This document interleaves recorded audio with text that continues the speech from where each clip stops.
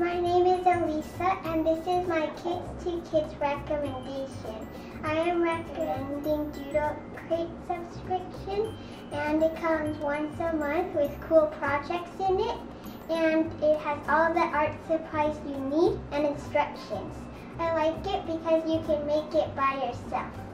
And this is what I made. I hope you like it. Bye.